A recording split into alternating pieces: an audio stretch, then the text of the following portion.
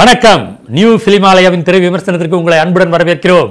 இப்பொழுது நாம் காண இருக்கும் திரைப்படத்தின் விமர்சனம் கொன்றால் பாவம்.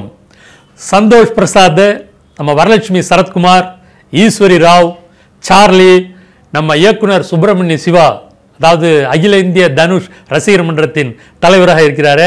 அவர் சென்றாயன் போன்ற பல நடிகர்கள் நடிப்பு பட்டாளங்களுடன் இந்த திரைப்படத்தை தயாள் பத்மநாபன் இயக்கியிருக்கிறாரு. சாம் சிஎஸ் அவர்கள் இசையமைப்பு செய்திருக்கிறார்.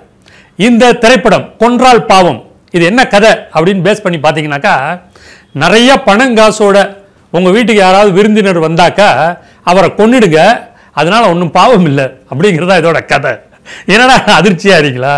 ஆக்சுவலாங்க இந்த திரைப்படத்தின் இயக்குனருக்கு நம்ம மிகப்பெரிய வாழ்த்துக்களை வரவேற்பையும் சொல்லிக்கோம் ஏன்னா இவர் ஒரு தமிழர். இவர் அதுக்கு முன்னாடி பதினெட்டு கன்னட திரைப்படங்களை இயக்கியிருக்கிறார். ஒரு தெலுங்கு திரைப்படத்தையும் இயக்கியிருக்கிறார். இருபதாவது படமாக அவரோட தாய்மொழியில் தமிழில் இயக்க வந்திருக்கிறார். இந்த திரைப்படத்திற்கு முன்னாடி ஒரு வாய்ஸ் ரோல் அவர் சொல்கிறாரு இந்த கதை வந்து எப்பேற்பட்டது என்ன எது இப்படி இது எனக்கு எப்படி கிடைச்சது? அப்படின்னு சொல்லிட்டு ஆயிரத்தி எண்ணூறுகளில் ஒரு இங்கிலீஷ்காரர் அதாவது நம்மளை ஆளை வந்தாங்களா சூழ்ச்சி செய்த அந்த பிரிட்டிஷ்காரர் இவர் வந்து எழுதின ஒரு கதை. இந்த கதையை ஆயிரத்தி தொள்ளாயிரத்தி பதிமூணாம் வருஷம். இதெல்லாம் ரொம்ப முக்கியம் நோட் பண்ணிங்க.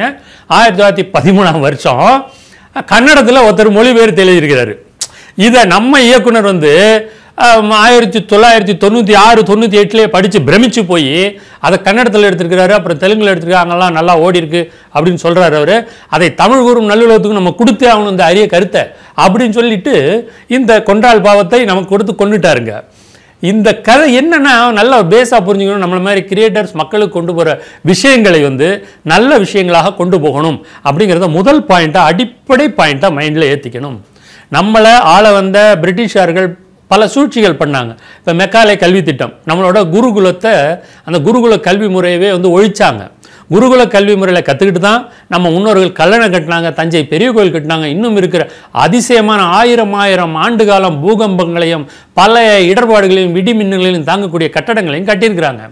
இன்னும் நம்மளுடைய விவசாயம் நம்மளுடைய நீர் வழியெல்லாம் பார்த்தீங்கன்னா விவசாயத்துக்கு அப்போ தஞ்சை மண்ணெல்லாம் போய் பார்த்தீங்கன்னா அவ்வளவு கட்டுக்கோப்பாக நீர் வழி அமைச்சிருக்காங்க. எல்லாமே நம்மளுடைய புராதன கல்வி முறையில் தான் இந்த கல்வி முறை இருக்கிற வரையிலையும் இந்த கலாச்சாரம் இருக்கிற வரையிலும் இந்தியாவை நம்மளால் ஆள முடியாது அப்படிங்கிறதுக்காக ஒரு சூழ்ச்சி திட்டங்கள்லாம் போட்டாங்க. இப்போ அதிதி தேவோபவ விருந்தோம்பல் தமிழில் சொன்னோம்னா அதிதி தேவோபவன்னா வடமொழியில் விருந்தினர்களை தெய்வமாக வழிபடுங்கள். இதெல்லாம் நம்மளுடைய கல்ச்சர் விருந்தோம்பலை பற்றி மூன்று அதிகாரங்களில் நமது தெய்வ புலவர் திருவள்ளுவர் நாயனார் வந்து எழுதியிருக்கிறாரு. அப்போல்லாம் பார்த்தீங்கன்னா ஹோட்டலுங்கிற சிஸ்டம் கிடையாது. ஹோட்டலுங்கிற சிஸ்டம் லாட்ஜிங்கிற சிஸ்டம் யூரோப்பியன் கண்ட்ரிஸ் அதாவது வெள்ளைக்காரங்களோடது. அவங்க இங்கே வந்து பிஸ்னஸ் பண்ணணும்னா இங்கே ஹோட்டலும் கிடையாது இதுவும் கிடையாது லாட்ஜிங் கிடையாதுன்னா ஷாக் ஆகிட்டாங்க வந்தவங்களுக்குலாம் வீட்டில் வந்து வீட்டு வாசலில் தின்ன இருக்கும் தங்க வைப்பாங்க. அவங்களுக்கு தான் சாப்பிட்றதுலேருந்து கொஞ்சம் சாப்பாடு போடுவாங்க. அவன் அவன் பாத யாத்திரையா காசி முதல் ராமேஸ்வரம் வரைக்கும் போகிறவன் இருப்பான். வியாபார விஷயமா போகிறவன் இருப்பான். ஒரு கல்யாணம் கார்த்தின்னு வெளியூர் போகிறவன் இருப்பான். இவன் எல்லாருக்கும் யார் வீட்டில் வேணாலும் சோறு போடுவாங்க தண்ணி கொடுப்பாங்க தங்க இடம் கொடுப்பாங்க. அந்தந்த ஊர்களில் பார்த்தீங்கன்னா ஆலயங்களில் வந்து குளம் இருக்கும். அங்கே குளிச்சுக்குவாங்க. மடங்கள் கட்டப்பட்டிருக்கும். சத்திரங்கள் இருக்கும். அங்கே சாப்பிட்டு போயிட்டு வந்துட்டு இருப்பாங்க. இந்த சிஸ்டத்தை உடைக்கணும்னா என்ன பண்ணணும் அப்படின்னு சொல்லிட்டு நிறையா இந்த விருந்தினர்கள் வந்து தங்க வச்சா உங்களை அவன் கொண்டுருவான் உங்கள் குடும்பத்தை கெடுத்துருவான். இல்லை அவன் வந்து அவன் நீங்கள் கொண்டுருங்க இப்படிங்கிற மாதிரி கெட்ட கெட்ட தப்பு தப்பான கதைகளை வெள்ளைக்காரன் நிறைய பேர் எழுதியிருக்கான். நம்ம குருகுல கல்வி முறை குரு சிஷ்ய பரம்பரையை நம்மளாம் வணங்குற ஒரு விஷயம். அதான் பரமார்த்த குரு சீடர்கள் அப்படின்னு சொல்லிட்டு ஒரு வெள்ளைக்காரன் எழுதி நம்மளை வந்து கேவலப்படுத்தினா அதையும் நம்ம பாடத்திட்டங்களெல்லாம் வச்சு ரசித்து சிரிச்சோம். நம்ம எந்த அளவுக்கு நம்மளோட அறிவுன்னு பாருங்கள் மட்டி மடையன் மிலேச்சன் மூர்க்கன் இவெல்லாம் வந்து சிசியம் பேர். குரு பெரிய லூசு அதை விட பெரிய லூசு சிஷ்யன் அப்படின்னு குரு சிஷ்ய பரம்பரையை எள்ளி நகையாடி கேவலப்படுத்தி ஒரு கதை. அந்த மாதிரி வெள்ளக்காரன் செஞ்ச சூழ்ச்சி கதைகளில் ஒன்று இது. விருந்தினரை வந்து நம்ம தெய்வமாக பார்ப்போம்லங்க. அவனை கழுத்தறுத்து கொண்டுடுறானுங்க சரி இந்த கதைக்கு வருவோம் நம்ம. இந்த திரைப்படத்தில் முக்கியமாக சொல்லலாம் சார்லி அவர்கள் ரொம்ப அருமையாக நடிச்சிருக்கிறார். ஒரு குடிகார தகப்பனாராக வந்து கலைக்கு எடுத்திருக்காரு. இதனால் வரைக்கும் நம்ம ஒரு காமெடியனாக தான் பார்த்துருப்போம் அவரை. உணர்ச்சி பூர்வமாக அருமையாக பண்ணியிருக்கிறாரு. ஈஸ்வரி ராய் ஒரு அம்மாவாக. நம்ம வரலட்சுமி சரத்குமார் வந்து அவ்வளோ ஒரு அட்டகாசமாக நடிப்புங்க இதில். ஹீரோவோட நடிப்பும் சோடை போல். குறிப்பிட்டு நம்ம இங்கே சொல்ல வேண்டியது என்னென்னு பார்த்தீங்கன்னா இயக்குனர் நடிகர் சுப்பிரமணிய சிவா அவர்களை பற்றி அவர் சில பல படங்களை பெரிய டானா பயங்கரமான ரவுடியெல்லாம் நடிச்சிருக்கிறாரு. ஒரு பொறுப்புமிக்க தகப்பனாகவும் ஒரு சில படத்தில் நான் அவரை பார்த்துருக்கேன். இந்த திரைப்படத்தில் காமெடி எள்ளி நகை ஓடுற மாதிரி வெளுத்து வாங்கியிருக்கிறாரு. எனக்கு அவர் பார்த்தோன்னே தோணுச்சு நம்ம நவீன காலத்தில் இருக்கிற நடிகர்கள் எம்ஆர் ராதா லெவலுக்கு இவர் பண்ணுறாரு இவரை இயக்குனர்கள் தயாரிப்பாளர்கள் இந்த மிகச்சிறந்த நடிகரை பல படங்களில் யூஸ் பண்ணுங்க. ரொம்ப அருமையாக சிறப்பாக அவர் பண்ணியிருக்கிறாரு. கதை என்னங்கிறத ஒரே வரியில் பார்த்துருவோம் நம்ம. ஒரு கிராமத்தில் சுற்றி பார்க்க வந்த மாதிரி ஒரு ஆள் வராரு. நிறையா பணம் காசோட ரெண்டு பொட்டியில் பண நகையெல்லாம் கொண்டு வராரு.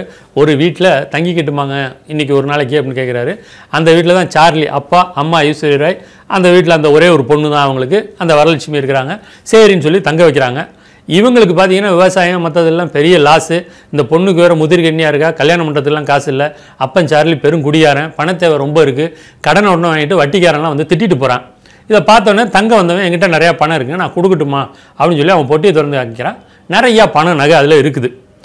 இப்போ என்ன ஆகுதுன்னா இவங்களுக்கு மனசு அந்த பண நகை தங்களோட கஷ்டம்லாம் போயிடும் நம்மள்ட்ட வந்துச்சுன்னா அப்படின்னு முடிவு பண்ணுறாங்க பேசாமல் நைட்டு சோத்தை போட்டு அவன் தூங்கும்போது அவன் கழுத்தை அறுத்துருவோம் அப்படின்னு முடிவு பண்ணுறாங்க அதிர்ச்சியாக கேட்கும்போது அந்த அம்மா பார்த்தீங்கன்னா ஓப்பனிங்கில் சில சீனில் வந்து ஊருக்கே பிரசவம் பார்க்குற அந்த அம்மா தான். யார் இந்த ஈஸ்வரி அவங்களுக்கு வந்து தொப்புள் கொடியாக இருக்க ஒரு கத்தி இருக்குன்னு வேற இன்ட்ரடியூஸ் பண்ணி வச்சுருக்கிறானுங்க. தொப்புள் கொடி இருக்கிற கத்தியால் அந்த தங்கம் வந்தவனை கழுத்தை எடுத்து கொண்டுருவாங்க அவன் தான் ஹீரோ இப்போ தண்ணி அடிக்க போயிருக்கிற அந்த சார்லி அங்கே சுப்பிரமணிய சிவா தான் கல்லுக்கடையோட ஓனரு சாராய கடை ஓனரு நைன்டீன் எயிட்டி ஒனில் நடக்கிற மாதிரி இந்த கதையை காமிச்சிருக்கிறாங்க. ஏப்பா வீட்டில் விருந்தாளியெல்லாம் வந்திருக்காங்க போல இருக்கு. அப்படின்னு ஒரு கேட்க இவன் பதறான் என்ன கொல்ற பிளானில் இருக்கும். எவனோ ஒருத்தனுக்கு தெரிஞ்சு போச்சு. அதெல்லாம் யாரும் வரலையானோன்னு அவன் வேறு யாரும் இல்லையா? சின்ன வயசில் ஓடி போனோம் அவன் புள்ள தான் நிறையா பணம் காசுரம் வந்திருக்கான் இனிமேல் சந்தோஷமாக வாழுங்க அப்படின்னு ஒன்று ஐயோயோன்னு அதிர்ச்சி ஆகிறார் சார்லி. வாயிலையும் வயத்துலையும் அடிச்சுட்டு ஓடி வீட்டுக்கு வந்தாக்க ஏற்கனவே அவர் கொல்லப்பட்டு விட்டார். இதை பார்த்து குடும்பத்துக்கு உண்மையை சொல்கிறாரு எல்லாரும் கதறாங்க எல்லாருமே அந்த பொட்டி பணம் நகை அந்த ஆளுங்க எல்லாருமா சேர்ந்து நெருப்பு வச்சு கொளுத்திட்டு அந்த வீடே பற்றிட்டு எரியுது. இதுதான் கதை. என்ன நீதியை சொல்ல வந்திருக்காங்கன்னு நமக்கு தெரியல. எனிவே இந்த திரைப்படத்தை பற்றி நமது நியூ ஃபில்ம் ஆலயாவின் ஃபில்ம் பாஸ் என்ன ஐடியா தரார் மக்களுக்குன்னு பார்க்கலாமா?